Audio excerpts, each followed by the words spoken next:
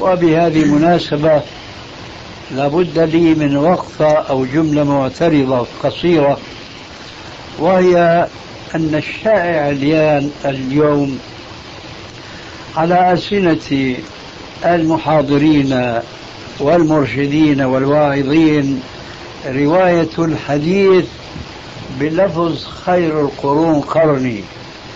هذا اللفظ لا نعرف له أصلا.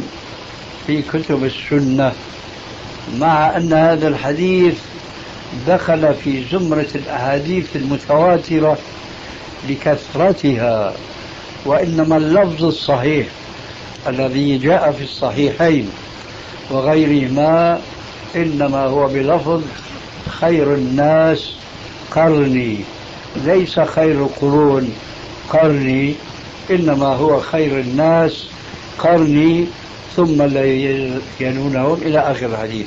الشاهد أن جماعة من السلفيين كانوا هكذا يطلبون العلم وطلب العلم اليوم ليس سبيله سهلا كما كان في القرون الأولى لأنهم كانوا يتلقون العلم مباشرة.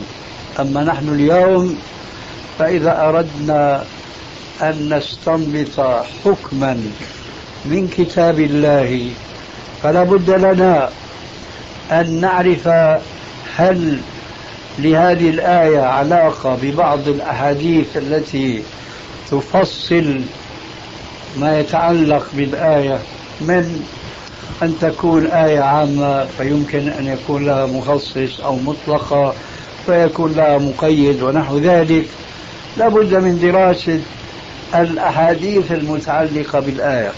فإذا وجدنا شيئا من ذلك لابد أن نمشي خطوة أخرى وهي أن نتثبت من صحة هذه الأحاديث. ثم أخيرا إذا تثبتنا من صحتها أن نرى موقف العلماء منها هل اتفقوا على دلالتها أم اختلفوا؟ وهكذا فنحتاج إلى ساعات بل ربما إلى أيام كثيرة لكي نعرف الصواب مما اختلف فيه الناس فطلب العلم اليوم ليس سهلا كما يظن بعضهم لذلك فطلاب العلم الذين كانوا معنا على الخط شغلوا بماذا؟ شغلوا بالجمعيات الخيرية ما السبب في ذلك؟ هذا سببه سياسي محض لأنه يراد أولا اكتساب القلوب لأن الأمر كما قيل قديما أحسن إلى الناس تستعبد قلوبهم فطالما استعبد الإنسان إحسانه هذه الجمعيات الخيرية تكسب قلوب الجماهير. وما وراء ذلك ثواب الله في الآخرة. ليت الأمر كان كذلك. لا المقصود الاستكثار من الأصوات حينما يأتي وقت الانتخابات. هذا هو طريق الذين يعملون في التحزب والتكتل الحزبي. ليتوصلوا إلى الحكم بطريق البرلمانات التي ليست من الإسلام في شيء إطلاقا. لأن طريق الانتخابات كما تعلمون جميعا يرشح المسلم نفسه كما يرشح الكافر. ثم لا فرق في نظام الانتخابات بين المسلم الصالح والطالح. بل لا فرق بين المسلم الصالح والكافر. الذي يأخذ أصواتا أكثر فهو الذي ينجح ويصبح نائبا في البرلمانات.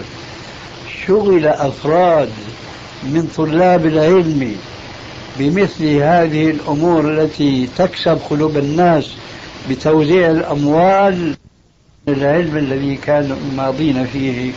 وهذا مع الأسف له وجود في كثير من البلاد حينما دخل التكتل الحزبي وفرق ليس المسلمين كلهم فهم متفرقون من قبل كما تعلمون من حديث الفرق وإنما التحزب فرق الجماعة الواحدة بسبب أنهم تركوا الاعتصام بالكتاب والسنة وانشغلوا بتنظيمات فرقت جماعة المسلمين وصاروا شيعا خلاف قوله تبارك وتعالى ولا تكونوا من المشركين من الذين فرقوا دينهم وكانوا شيعا كل حزب بما لديهم فرحون.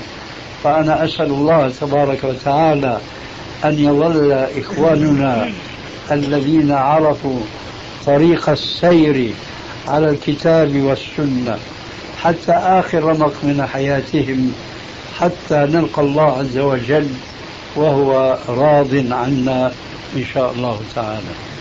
نعم.